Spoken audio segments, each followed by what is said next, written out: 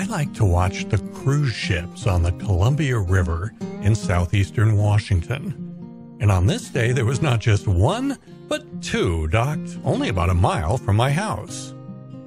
On the left, that's American Harmony, and on the right, American Song from American Cruise Lines.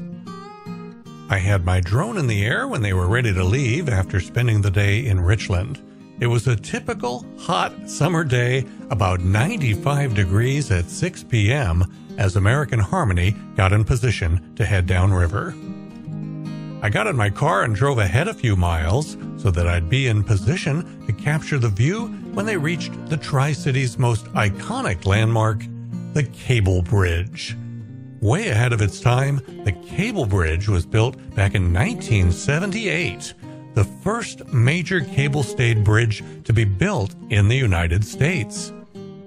Since then, the cable bridge has become the unofficial symbol of the Tri Cities of Richland, Kennewick, and Pasco.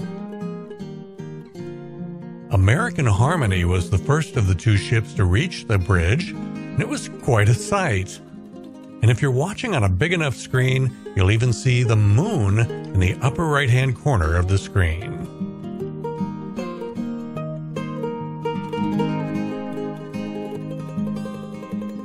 Beautiful view of a beautiful river ship. And it's quite modern, too. It was just built in 2019. As we watch the American Harmony head under the cable bridge, I just want to suggest that if you're enjoying the video, please hit the thumbs up button. That signals to YouTube that this is a good video that they should recommend to other people. YouTube is automated. It doesn't know a good video from a bad video. They rely on you to use the thumbs up button to tell them which videos you think deserve a wider audience. Now here's the second ship, American Song. And as you look at this video, a little closer shot than I did of the previous ship, I just want to explain that the reason you don't see any passengers out on their balconies or up on the top deck or basically anywhere doesn't mean that there wasn't anyone on board. It was actually quite full of passengers, but this was at about 6:30 in the evening and all the passengers were enjoying a nice dinner at this point. It was really hot outside, so the most comfortable place to be was definitely inside with air conditioning and enjoying the views of the ship going under this iconic Tri-Cities landmark, the Cable Bridge.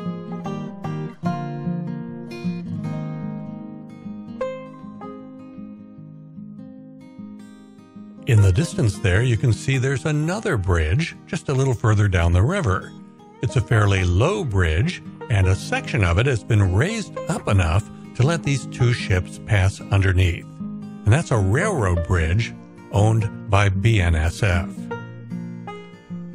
You can see that the first ship, American Harmony, has already made it under the railroad bridge, as the second ship, American Song, is heading under the cable bridge.